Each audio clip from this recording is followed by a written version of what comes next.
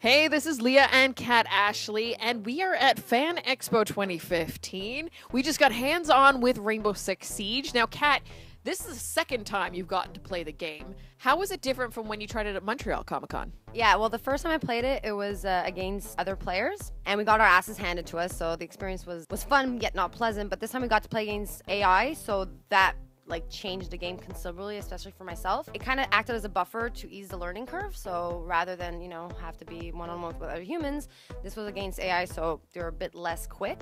And also, I'm not normally a much of a fan of objective-based first-person shooters, and this one was really fast-paced, which I felt like it, changed the enjoyment of the game. Also, they're the basic first-person shooter controls, so that was easy to learn. Uh, the game itself was quick to learn. The objectives were not complicated, and communicating with team was really awesome. So it was honestly a fantastic experience, and I can't wait to play it again. And you, Leah, how did you feel as a person who's never played it before? I agree. The objective-based shooter thing really makes it an easy learning curve, especially for someone like myself.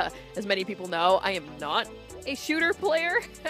and working as a team made my lack of skills more effective because people would tell me what to do and things would work out. we actually won. I was the one that got to defuse the bomb.